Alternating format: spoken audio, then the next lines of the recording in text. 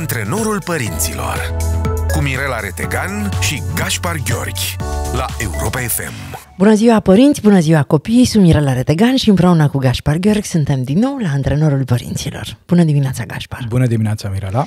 Mă bucur foarte tare să ne revedem și să ne povestim și astăzi.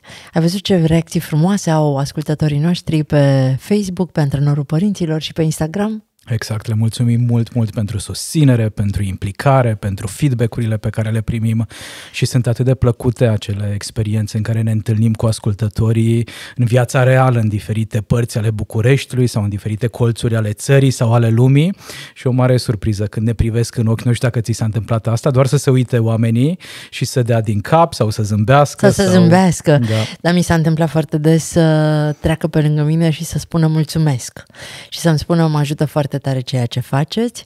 Uh, salutări domnului Gașpar. Mi se întâmplă foarte des da. să întâlnesc ascultători uh, de Europa FM. Să știi că întâlnesc cu oameni care știu că eu sunt uh, doamna de la Europa FM, dar nu știu că eu am făcut gașca zurli sau hmm. alte lucruri despre mine și mă asociază doar cu Europa FM. Le mulțumim mult! Tu te-ai întâlnit cu cineva da, special? M-am, m-am, întâlnit, m-am întâlnit de curând cu cineva în molul din Zalău, ah, o doamnă auzi. foarte simpatică, Așa.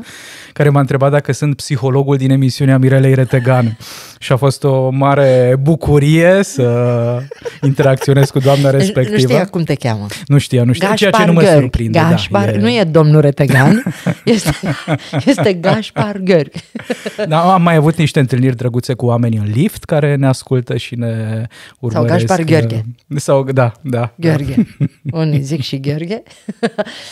Uh, sunt foarte bucuroasă că uh, oamenii apreciază ceea ce facem noi și repet de fiecare dată când uh, am ocazia că o facem cu toată bucuria, pentru că nu avem pretenția că noi schimbăm uh, felul în care ei își gestionează relațiile cu copiii și cu părinții, dar poate reușim să le dăm curaj să facă unele lucruri, auzind poveștile noastre și felul în care noi ne raportăm și auzind din perspectiva ta de specialist, că până la urmă despre asta e vorba, eu vin în această emisiune cu... Eu sunt vocea străzii, eu sunt vocea părinților din România, a părinților români de pretutinde, pentru că ne ascultă foarte mult și în uh, diaspora, iar tu, prin natura meseriei tale, a vocației tale, a misiunii pe care tu ai identificat-o, poți să, uh, să vii și să-i ajuți uh, arătându-le o fa- altă față a lucrurilor. Știi ce am realizat, Mirela, în această pauză pe care am avut-o în uh, perioada asta legat și de vacanța de iarnă? Faptul că ce m-a bucurat, de fapt, foarte, foarte tare a fost să, să ajungă la mine niște informații care să-mi transmită că ne ascultă și ne urmăresc nu doar părinți de copii mici sau de adolescenți, ci inclusiv foarte mulți de bunici Părinți exact. de adulți. Părinții ai unor copii care deja sunt adulți și care le spun copiilor lor, uite, am auzit conversația dintre Mirela și Gașpar și îmi dau seama că aș putea face lucrurile mai bine sau regret ceva ce nu am făcut la momentul respectiv sau chiar bunici care au început să le trimită linkuri de pe podcasturi, de pe platformele de podcast ale e, înregistrărilor noastre, copiilor lor, care unii dintre ei chiar vin la mine în terapie și părinților nu știau că noi lucrăm în terapie. Foarte frumos. Nu contează ce o să facem noi mai departe și cât o să mai fim pe pământul ăsta, dar cu siguranță că în urma noastră o să rămână niște discuții care vor ajuta multe generații de părinți și copii de acum încolo. După cum observi, trag de timp cât pot de mult ca să nu intrăm în subiectul de astăzi, care mi se pare un subiect uh, pe care ne tot pregătim să-l abordăm de ceva vreme și l-am tot pasat așa, pentru că nu e ușor de abordat. Aș vrea să vorbim despre credință, despre cum îi împrietenim pe copii sau nu cu Dumnezeu și doar gândindu-mă la această temă mi-am dat seama cât e până la urmă de, de dificil. Pentru că atunci când îți propui să le vorbești copiilor despre Dumnezeu, tu trebuie să ai o părere despre asta. Și de aici plecăm. Mi se pare un subiect foarte bun, într-adevăr uh, dificil, pentru că e foarte complex și personal în același timp atunci când folosim cuvinte de genul credință, religie, spiritualitate. Fiecare dintre noi are o definiție, fiecare dintre noi are o, o serie de cuvinte care îi se activează în minte, cuvinte care pot avea o rezonanță pozitivă sau mai puțin pozitivă. Vreau să-i asigurăm pe cei care ne ascultă de toată buna noastră credință în cel mai adevărat sens al cuvântului. Atât eu cât și Gașpar respectăm absolut toate uh, orientările. Fiecare e liber să creadă în ce vrea, în cine vrea. Puteți să-i spuneți cum vreți voi, puteți să-L numiți Dumnezeu, sursă, divinitate, Allah, uh, cum vrea fiecare Univers, dintre mama, voi. natură, da. Uh, din punctul nostru de vedere, uh, toți suntem egali în dreptul de a crede în ceea ce vrem noi să credem. Eu sunt ortodoxă și tu ești catolic. Catolic, catolic. Uh, crescuți în familii credincioase, așa că noi am aflat foarte devreme despre existența lui Dumnezeu fără să ni se predea o lecție. Pur și simplu ne-am trezit că știm despre asta. Eu îmi amintesc despre mine, copil fiind, că mergeam foarte des la biserică. Bunica din partea tatălui locuia foarte aproape de biserică și mama mi-a zis ultima oară când uh, ne-am întâlnit că de fiecare dată când trăgeau clopotele, când se auzeau clopotele, eu mă duceam la ea și îi spuneam să mă îmbrace cu cele mai frumoase haine și să-mi dea o floare pentru Lelea Măriuca. Era o bătrână din sat la care eu îi duceam o floare de fiecare dată când mergeam la biserică și că mergeam singură, pentru că era foarte Atât de aproape, aproape. de casa bunicii și că nu lipseam niciodată de acolo. Uh, mă întreabă foarte multă lume când m-am împrietenit cu Dumnezeu și de unde legătura asta, probabil că a fost dintotdeauna, pentru că eu nu identific un anume moment în care să pot spune că din acel moment eu m-am împrietenit cu Dumnezeu. Tu cum te-ai împrietenit cu El? Aș, aș începe prin a spune că în viața mea credința, Dumnezeu, spiritualitatea au avut dintotdeauna un spațiu destul de generos.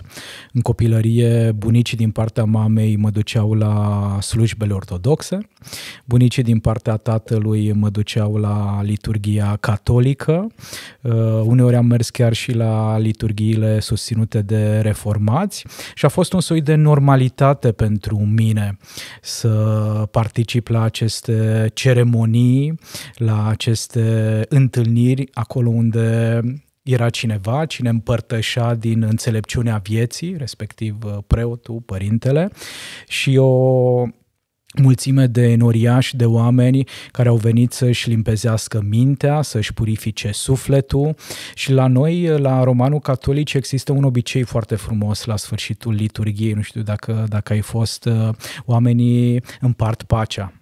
Știu, am Și- fost pentru că eu am crescut în Ardeal și acolo majoritatea vecinilor mei erau romano-catolici, așa că sunt familiarizată.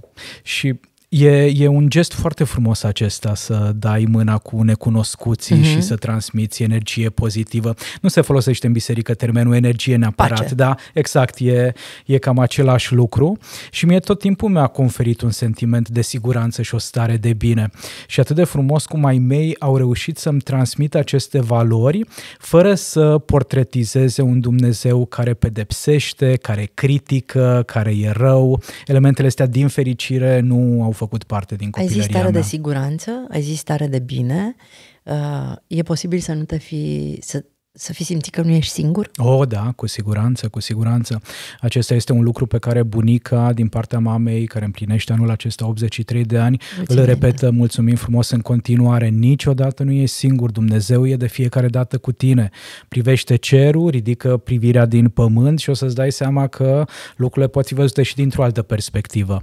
Și e, cu cât avem mai multe perspective, Mirela, de fapt, la dispoziție, cu atât uh, suntem mai norocoși, pentru că ieșim din acel tipar rigid de a vedea lucrurile. Și ce mă bucură și mai tare e că în ultimii ani, inclusiv în psihologia științifică, sunt tot mai multe studii și cercetări care au ca punct de plecare spiritualitatea, uh, religia, credința. Psihologia sănătății ne-a arătat de decenii bune că acei oameni care cred în ceva se vindecă mai repede. Găsesc cumva motivația necesară pentru a implementa tratamentul, pentru a fi un pic mai uh, optimiști și Motivația sau pu- cumva relaxarea? Cred că și și poate, e, poate se și lasă, știi? e nevoie, Într-o sigur. Da. forță supranaturală. Știu că nu depinde numai de ei, că mai depinde și de alți factori și atunci uh, își dau voie să nu se încrânceneze, Foarte frumos spus, da. ci să Mo- lasă și în mâinile lui Dumnezeu Sigur. sau a acelei forțe supranaturale. Și avem nevoie de asta pentru a nu transforma stresul sănătos într-un stres cronic, pentru a ne mai relaxa corpul din când în când și de asemenea avem nevoie de motivație pentru a ne implica în acele comportamente care poate nu fac parte din rutina noastră de zi cu zi. Uh, Așa că cred că suntem foarte câștigați dacă avem o legătură cu spiritualitatea. Uite, noi uh, ne-am trezit duși la biserică. Nu, nu poate să ne spună nimeni că nu suntem duși la biserică, nu? noi am fost duși de mici la biserică, Da, da. se vede, dar în zilele noastre bunicii nu mai au loc să-și ducă nepoții la biserică așa cum ar vrea. Eu mărturisesc că în ceea ce privește uh, relația copilului meu cu biserica nu este cea mai uh, cultivată relație din tot ce uh, trăim noi împreună și asta, în primul rând, din cauza mea, pentru că eu am un fel al meu de a mă raporta la divinitate și nu întotdeauna am inclus copilul în ritualurile mele. Mama a mai reușit să recupereze câte puțin, dar uh, uh, am lăsat-o cumva să-și construiască propria ei uh, relație fără să o influențez prea tare. Le spunem noi copiilor despre Dumnezeu sau îi lăsăm să vină să întrebe? Depinde foarte mult de valorile familiei. În momentul în care avem uh, o familie creștină, s-ar putea să fie niște simboluri în casă. De la icoană, la cruce, la momentul în care vine preotul la începutul anului și uh, aduce energia pozitivă în casa noastră. Unii dintre părinți aleg să meargă, chiar dacă nu în fiecare duminică, dar atunci când sunt sărbătorile importante la, la biserică și invariabil uh, curiozitatea copilului va fi stârnită. Probabil că invariabil copilul va fi interesat să vadă de ce își face mama cruce în momentul în care trece pe lângă o biserică sau uh, de ce stau oamenii duminica în fața acestor uh, locașe de cult, uh, pentru că știm că mai ales vara oamenii stau și în curtea bisericii. Deci chiar dacă uh, nu le spunem direct, uh, indirect ei primesc niște mesaje pe care le decodifică așa cum pot uh, ei și cum uh, în funcție de capacitatea minților. Uh, Eu cred că dacă e o valoare, religia, credința, spiritualitatea, părinții automat vor vorbi despre asta.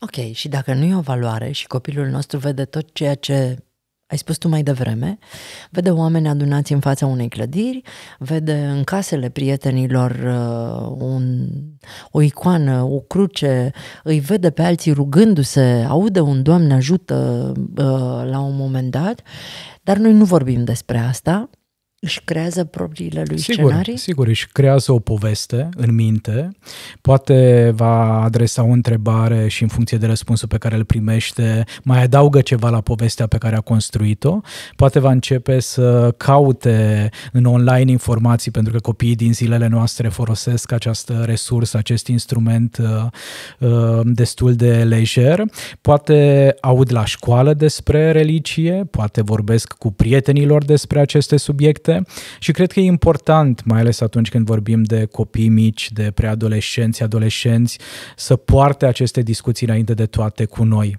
E riscant să le poarte cu alții? E, e riscant pentru că îi, îi pot influența într-un mod care poate să fie nociv sau nesănătos. Hai să ne uităm care sunt acei adolescenți care se apropie foarte, foarte mult de grupuri periculoase, care nu au o relație suficient de bună cu părinții lor, cu aparținătorilor, cu îngrijitorilor, iar o relație se cultivă în special prin respect și comunicare, dar comunicarea asta să fie reprezentată de un dialog la modul cel mai serios, în care există schimbul ăsta de, de păreri și de idei. Așa că nu întâmplător sunt copiii noștri, E, noi suntem responsabili principali pentru educația lor, pentru ghidașul lor, pentru a introduce în lume și pentru a le prezenta lumea așa cum noi o vedem. Sigur, pe măsură ce ei înaintează în vârstă, le putem puncta faptul că nu e singura modalitate de a vedea lumea. Probabil că într-o familie de musulmani, relația cu divinitatea este percepută un pic diferit față de o familie în care există ortodoxie sau catolicism. În cazul copiilor mici, de exemplu, care mm, vor să afle mai multe lucruri despre asta, nu știu, nu știu de ce, mi se pare mie sau uh, um, credința, religia, um, cum se fac copiii și sunt câteva subiecte tabu, subiecte care nu se discută în familii. Sunt foarte puțini oameni care vorbesc despre Dumnezeu acasă la ei, părinți, sau uh-huh. despre sex sau cum se fac copiii uh, sau despre, nu știu, sunt câteva dintre ele. Cum facem să schimbăm aceste taburi în niște discuții normale? Să putem să vorbim cu copilul nostru. Eu cred că un om care nu vorbește cu copilul lui despre Dumnezeu nu va putea vorbi cu copilul lui nici despre cum se fac copiii. Pentru că sunt da. la fel de greu de explicat și una și cealaltă. Și atunci încerc să aflu de la tine, pentru un părinte care acum își pune problema, eu, eu cum îl descriu pe Dumnezeu copilului meu? Îi povestesc ca despre o persoană supranaturală, uh, îi spun o poveste, e un oier care a trăit uh, acum foarte mulți ani și care ar fi varianta cea mai sănătoasă, că bun și rău mm-hmm, nu există, sigur. Dar mai ușor de care să-i lase copilului libertatea de a-și crea uh, propria imagine, dar în același timp să nici nu îl ducă într-o zonă în care să nu știe de ce nu se vorbește cu el acest subiect. Da. Primul pas ar fi să conștientizăm că e un subiect care ar merita abordat în familia noastră și poate că o parte din ascultătorii noștri acum realizează că n-au purtat astfel de conversații până în prezent cu copiilor și este perfect în regulă. Și de unde să înceapă? Iar al doilea pas foarte, foarte important, Mirela, e să ne întrebăm cum definim noi divinitatea, care e povestea pe care mintea noastră a construit-o, care e acel cadru teoretic în care am ales să credem sau să nu credem. Tu poți să-mi spui cum o vezi? Cum văd divinitatea? Da. Văd uh, ca fiind totul divinitatea. Tot ce există în mine și tot ce există în, uh, în afara mea. O văd ca o sursă de iubire, de bunătate, de lumină. Toți suntem una și una suntem toți. Exact, exact. Și această, această divinitate o văd ca fiind acea, acel câmp de energie care asigură întreaga existență a Universului, dar o văd și ca pe o divinitate care ne invită să colaborăm în această minunată poveste numită existență. Uh, e un pic diferită de imaginea pe care mi-au creionat-o părinții și bunicii în copilărie, apropo de creștinism, dar pentru mine face foarte, foarte mult sens acum. Revenind la, la întrebarea ta, Mirela. Iar cei care, uh, revenim la întrebarea mea, cei care uh, ne urmăresc online și se uită video acum pe canalul de YouTube, o să vadă un zâmbet foarte mare care s-a instalat. Pe, te-ai observat cum zâmbesc eu de când am început să vorbim despre acest subiect? Da, da, da. Pentru că mi se pare atât de frumos felul în care tu ai descris și m-am regăsit și eu văd la fel și eu simt la fel că uh, suntem conectați, uh, interconectați într-un mod în care ceea ce fac eu te afectează pe tine și îl afectează pe cel de la mii de kilometri, zeci de mii de kilometri distanță, într-un fel în care eu nu voi uh, ști niciodată concret, dar se va simți undeva exact. acolo în univers asta. Să revenim.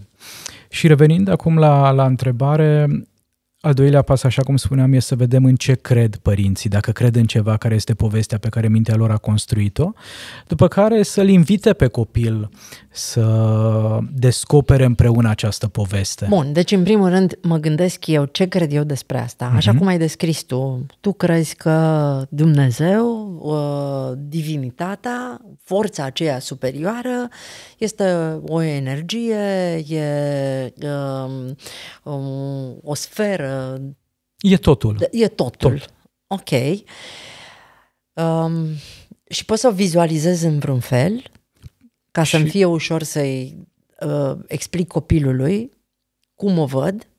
Eu, de exemplu, o văd ca pe o sursă de lumină uh-huh. foarte puternică și de multe ori am, mi-e suficient să stau cu mâinile desfăcute și am sentimentul că mă încarc fix cum duci mașina la pompa de benzină și îi pui combustibil, eu simt că mă încarc doar gândindu-mă la sursa aceea de lumină. După ce ți-ai clarificat tu cum vezi tu în capul tău, fie că îl vezi uh, un bătrân îmbrăcat în uh, o haină albă cu un toiag în mână, fie că îl vezi un spirit cu Da.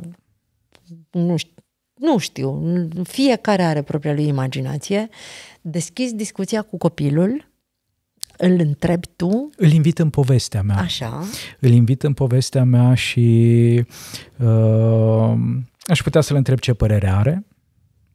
Aș putea să-l întreb dacă are sens pentru el povestea asta pe care mintea mea a construit-o, mai ales dacă copilul e un adolescent sau poate chiar mai mare un adult uh, tânăr. Uh, Dacă văd că există curiozitate și deschidere din partea copilului, voi continua dialogul. Dacă și-a luat telefonul, dacă deja e cu ochii pe pereți, dacă se uită să vadă cât e ceasul, ăsta e un indicator al faptului că această primă conversație a noastră s-a oprit uh, aici și după aceea vom relua conversația cu, cu altă ocazie. Sunt, de exemplu, părinți care aleg să creadă sau adulți care aleg să creadă că inclusiv uh, există o urmă de divinitate în fiecare ființă, în fiecare entitate, în fiecare plantă, în Frunză, fiecare frunză. furnică. Exact, exact. Uh-huh. Și atunci nu călcăm furnicile în momentul în care mergem pe stradă pentru că le respectăm, pentru că vedem uh, uh, această energie necesară în această lume care există, pulsează în aceste mici insecte.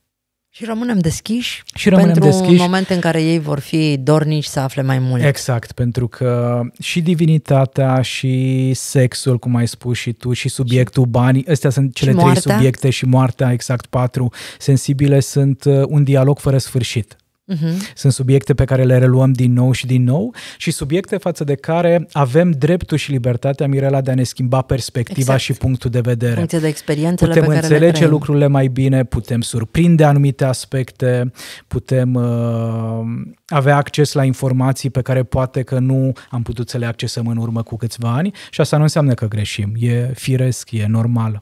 Vreau să ne întoarcem după pauză și să vorbim despre ritualuri și despre rugăciuni și despre felul în care am învățat de la ei noștri să ne rugăm și cum s-a, s-au transformat în timp uh, rugăciunile noastre. Astăzi, aici la Europa FM, la Antrenorul Părinților, încercăm să um, spunem o perspectivă din care părinții pot să abordeze subiectul credință, Dumnezeu în relația cu copiii. Ne întoarcem. Ne-am întors la Europa FM, Mirela Retegan și Gaspar Gheorghi. Astăzi la Antrenorul Părinților vorbim despre credință. Acum realizez ceea ce ai spus tu înainte de pauză și anume că zâmbetul tău a apărut pe chip. Eu simt uh, o stare foarte plăcută în corpul meu. Parcă m-am mai detensionat, parcă și de m-am când relaxat. amânăm acest da, subiect? Da, da. Că ne temeam că... Adică, Eu l-aș ultim- trece la capitolul subiectelor dificile, gen traumă și moarte, Moarte, da. care de fapt am realizat că sunt foarte importante pentru noi Ce amândoi. frumoase au fost. Uh, ultimul lucru pe care ni-l dorim e să rănim pe cineva, să deranjăm pe cineva. Emisiunea asta nu își propune și nu și-a propus niciodată să dea lecții sau să uh, arate cu degetul sau să uh, pună ștampile asupra oamenilor care ne ascultă. Pur și simplu în, ne transformăm în doi oameni, unul care a adus pe lume un copil și altul care este foarte conectat în relația cu părinții lui și din aceste două perspective, a ta de psiholog și a mea de mamă, încercăm să abordăm niște subiecte despre care oamenii nu prea vorbesc. Oamenii nu vorbesc despre sex, oamenii nu vorbesc despre moarte, oamenii nu vorbesc despre bani și oamenii nu vorbesc despre Dumnezeu, pentru că ne scapă printre degete toate, știi?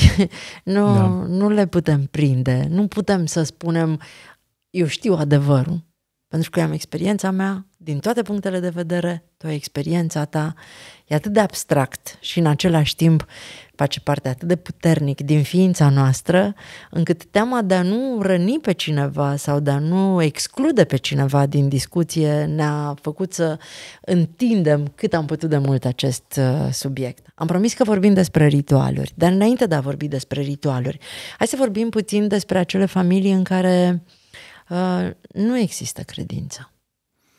Eu personal cunosc uh, câteva familii în care Eu nu știu familii părinții, de atei. în care părinții au ales uh, să nu își cultive relația sub nicio formă cu divinitatea.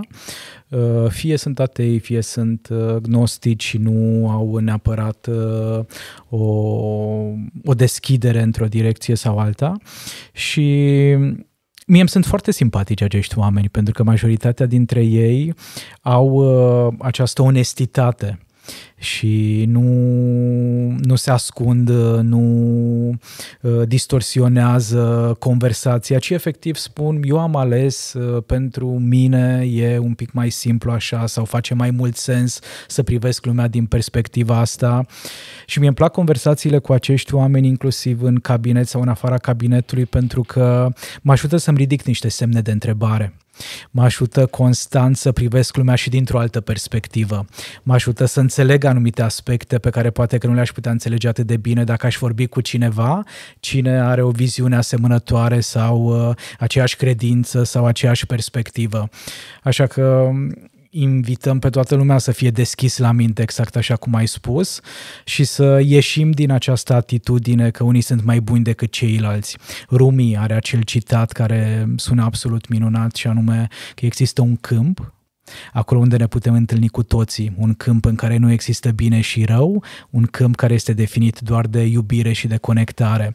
Și vreau să cred că putem împreună să conștientizăm prezența acestui câmp în, în această realitate pe care o numim viață. Mie mi se pare atât de simplu să accept pur și simplu felul în care ceilalți privesc viața și aleg să-și o trăiască nu stă nimeni niciun drept. N-ai pe ce te bazezi în momentul în care judeci pe cineva care alege să trăiască altfel decât trăiești tu. De unde ai tu certitudinea că ceea ce faci tu e corect? Singura, um, singurul mod de a verifica um, gradul de corectitudine a lucrurilor pe care le faci e felul în care tu te simți. Dacă tu te simți bine cu ceea ce faci, înseamnă că ai, ăla e corectul da, da. tău lasă-l pe celălalt să trăiască atâta timp cât nu face rău nimănui și nu punem în pericol viețile ființelor din jurul lui, lasă-l în pace. E... N-ai fost niciodată în pantofii lui. Nu știi niciodată, de fapt, care sunt poveștile din spatele deciziilor pe care le-a luat. Și dacă nu te încurcă cu nimic, de ce să te conving eu pe tine să crezi în adevărul meu când tu ai motivele tale să crezi în adevărul tău. Exact, și fiecare are dreptul să creadă în propriul adevăr. Probabil că încet, încet vom fi din ce în ce mai mulți cei care le vom da voie oamenilor din jurul nostru să fie așa cum sunt și dacă nu ne place um, gustul pe care ni-l lasă ceea ce uh, ei sunt, să consumăm altceva, să ne ducem în altă parte și să-i lăsăm uh, atâta timp cât nu ne deranjează să, să-i refuzăm drăguț dacă ne invită și nu vrem să mergem și nu vrem să facem parte din comunitățile lor, din grupurile lor, dar să le vorbim frumos în continuare și să ne Cu vedem respect, de, da. de treaba noastră. Hai să vorbim despre ritualuri. Mai țin minte care sunt primele rugăciuni pe care le-ai învățat? Tatăl nostru. Eu am învățat în Gerașul. În Gerașul? Da, mm. în Gerașul am învățat. Nu mai știu dacă bunica sau mama, dar acolo am învățat îngerașul și uh, în continuare este prima rugăciune pe care o spun mm. uh, atunci când îmi propun să mă rog. Când nu îmi propun să mă rog, acum, de exemplu, în vacanță, am făcut snorkeling, am uh, înotat sub apă, într-o zonă de corali, și în momentul în care m-am scufundat, erau mii de pești, pești multicolori și niște corali superbi. Deci cât am stat sub apă, am zis tatăl nostru non-stop. Non-stop. Deci nu făceam altceva decât ziceam tatăl nostru care știe în Nu mă mai puteam opri. Am avut o stare de beatitudine. Am mai trăit asta de două ori.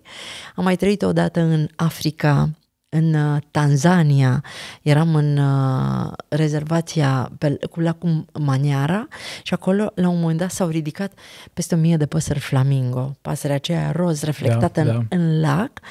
La fel îmi curgeau lacrimile pe obraz într-o stare de beatitudine și sentimentul meu era Dumnezeu a creat perfecțiunea.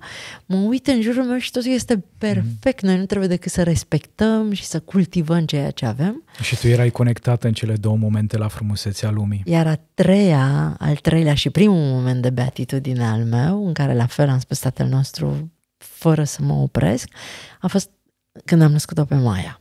Ăla a fost primul moment și atunci am înțeles că minunile există mm. și că nu depind de noi, că noi suntem doar uh, felul prin care minunea se înfăptuiește. Canalul, da. Și uh, legat de, de ritualuri și de felul în care ne rugăm, atunci când simt o conexiune foarte puternică, zic tatăl nostru pe pilot automat. Mm. Mulțumim frumos, Mirela, că ai împărtășit uh, aceste momente atât de intime și de personale cu mine și cu toți ascultătorii care sunt acum pe frecvențele Europa FM. Mi se pare important ca oamenii să ne cunoască așa cum suntem, pentru că asta îi relaxează în ceea ce ne privește. Nu stau să se gândească, oare ce gândește Mirela de fapt? Oare cum e Mirela de fapt? Oare îmi place ideea asta de mister și sunt foarte mulți oameni și persoane publice care uh, o ard misterios și da, nu mă duce într-o zonă de confort. N-am timp să te descoper uh, numai de amorul artei. Ajută-mă să te cunosc pentru că putem să facem ceva împreună decât să-mi consum timpul ca să descifrez ceva ce tu vrei să pară mai interesant hmm. decât e. Da. Hai să revenim la ritualuri. Tu provii din uh, o familie de catolici eu provin dintr-o familie de ortodox, dar ritualurile sunt a, destul de asemănătoare. A, destul sigur, de da. asemănătoare. Da. În timp ce te ascultam uh, și mi-am uh, adus aminte de tatăl nostru, am și vizualizat felul în care bunica catolică din partea tatălui, seara înainte de culcare, spunea rugăciunile cu voce tare. Uh-huh. Eu dormeam fie cu bunicul, fie cu bunica, erau două paturi în aceeași încăpere. Uh, unul dintre noi dormea cu bunicul, celălalt, sora mea respectiv, uh, cu bunica, de exemplu, și în momentul în care s-a stins televizorul, în momentul în care deja eram uh, pregătiți pentru somn, bunica spunea tatăl nostru cu voce tare, noi cu toții repetam fie în șoaptă, fie în gând, iar dacă bunica avea suficient de multă energie, nu era povestea de noapte bună, dar erau mai multe rugăciuni. Și cumva a rămas rugăciunea din acest punct de vedere un soi de strategie de autoliniștire pentru mine. În momentul în care mă simt mai agitat sau sistemul meu nervos percepe niște pericole, a repeta cuvintele dintr-o rugăciune are această funcție de liniștire, de relaxare. Pe de cealaltă parte, la bunica din partea mamei, imaginea pe care o am, e a femeii care se trezește dimineața, Uh, înainte să mănânce, înainte să facă orice, se așează în genunchi, înspre răsărit, își împreunează palmele și spune Tatăl nostru, nu cu voce tare, dar e un comportament vizibil pe care îl vede toată lumea. Și cu asta de asemenea am rămas, ca dimineața când mă trezesc și văd lumina, să spun o rugăciune, să repet o mantră, să mă conectez cumva cu, cu sursa. Sunt uh, două ritualuri care pe mine mă ajută foarte mult să mă ancorez în propria viață și să nu mă las sedus de gândurile negre, de frici, de anxietăți, pentru că am foarte foarte multe, știi asta despre mine. Dar aceste două rutine, aceste două ritualuri, aceste două obiceiuri pentru mine înseamnă foarte mult.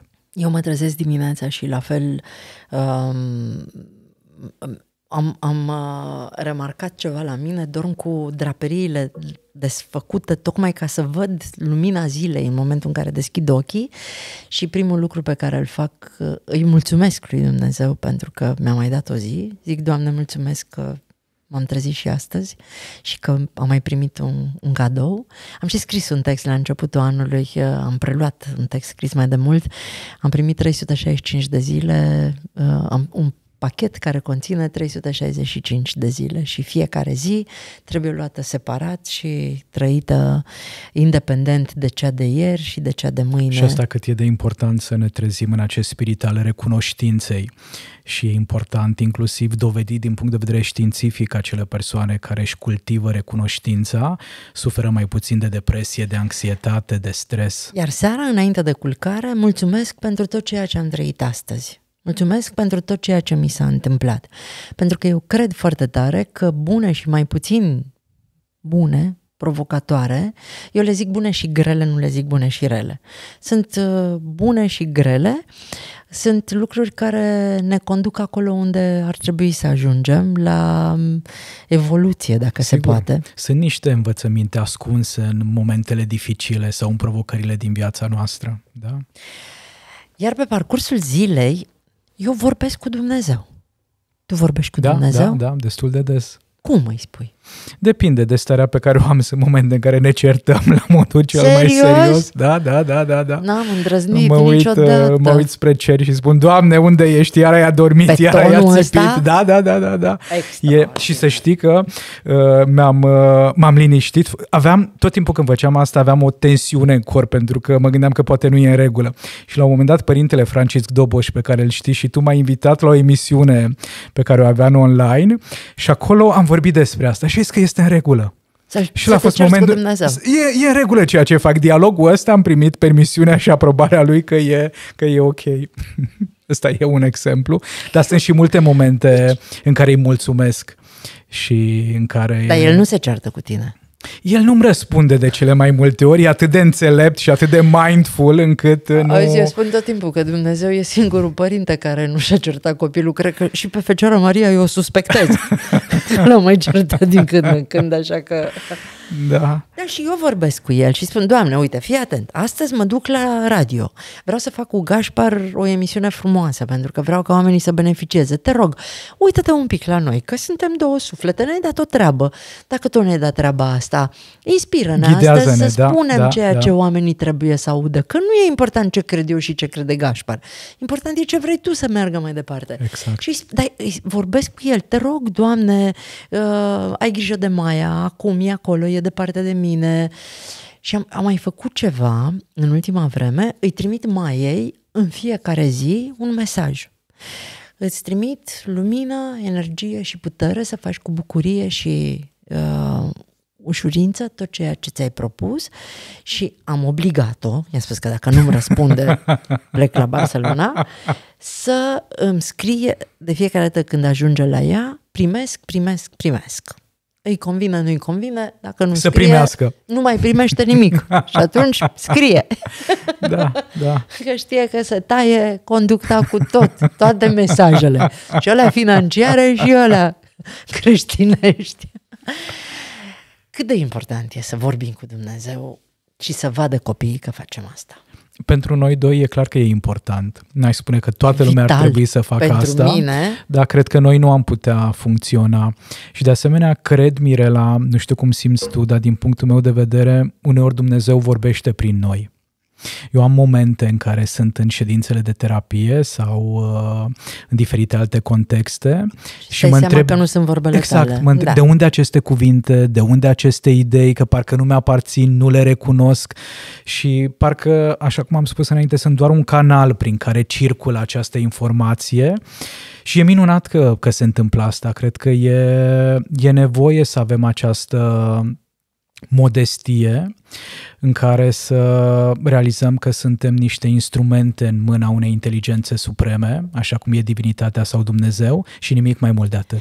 Aș vrea foarte tare ca oamenii care ne ascultă și cred în Dumnezeu să rețină din această emisiune că Dumnezeu nu este, noi credem, eu cu Gașpar, dacă voi credeți în noi, atunci trebuie să ne credeți, că Dumnezeu nu e deranjat să vorbim cu El orice probleme avem oricât de mici ni s-ar părea. Eu a fost o vreme în care mă gândeam, băi, nu-L deranjez pe Dumnezeu cu niște cu banalități. astea. Mm-hmm. Pe bune, hai că acum mă descurc eu cu problema asta la picior sau cu uh, cearta pe care am avut-o cu partenerul sau am învățat inclusiv în re- despre relațiile cu oamenii să vorbesc cu ei și să zic, Doamne, dacă atât a fost, atunci ajută-mă să închid frumos relația cu omul ăsta, cu femeia asta, cu uh, persoana respectivă.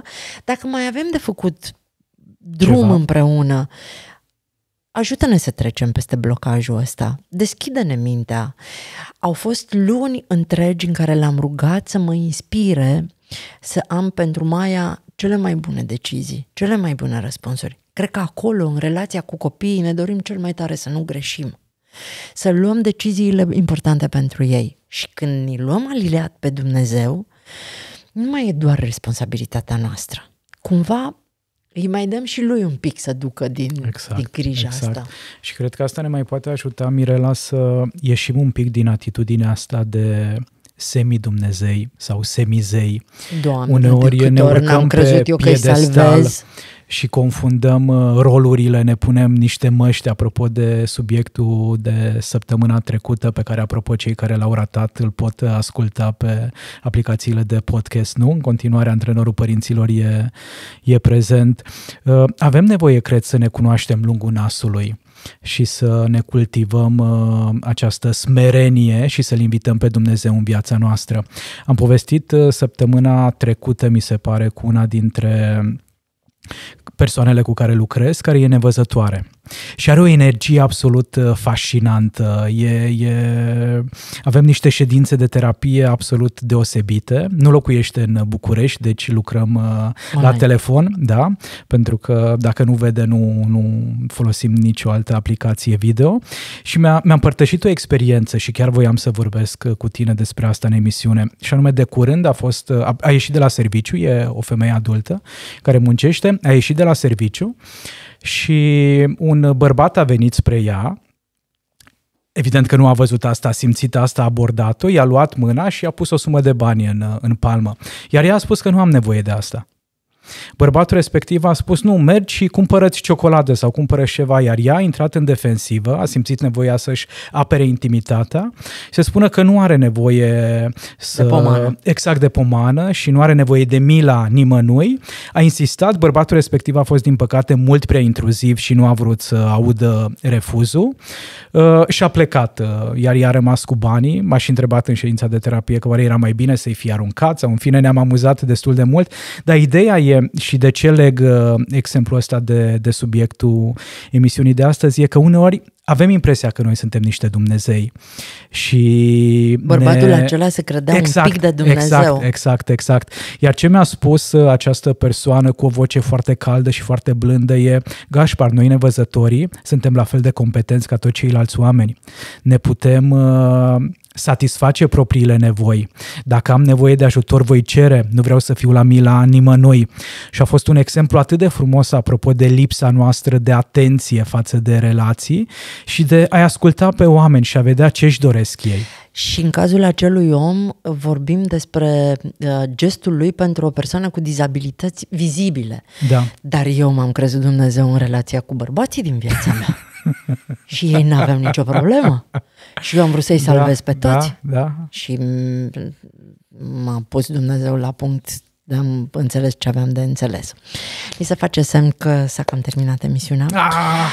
Uh, e, e, e, e un moment în care aș fi simțit nevoia de a expanda timpul, să mai continuăm subiectul. Știu. Dar poate le reluăm cândva. Îl reluăm neapărat pentru că mai putem să vorbim multe despre el. Întrebare pentru pentru Facebook, pentru antrenorul părinților, care e prima rugăciune pe care ați învățat-o. Eu o să vă dau cartea astăzi aici, acum, despre care fica mea spunea, nu înțeleg de ce Dumnezeu apare în fiecare articol dacă tu nu faci propagandă religioasă. Și uh, Mimi uh, Zurli este păpușica nouă pe care o fac cadou unui uh, ascultător care va răspunde pe Facebook, unde, în afară de astăzi aici, acum, primește și... Din partea paginii de psihologie avem mai bun decât părinții tăi, o carte semnată de Janet Voitiț pentru toți acei oameni care au nevoie să găsească modalitatea de a purta conversații dificile, e o lectură utilă. Până săptămâna viitoare, Mirela Retegan și Gaspar Gheorghe vă urează să încercați să vorbiți cu Dumnezeu orice aveți pe suflet și o să vedeți că El chiar vă ascultă. Mirela Retecan și Gaspar Gheorghi Antrenorul părinților la Europa FM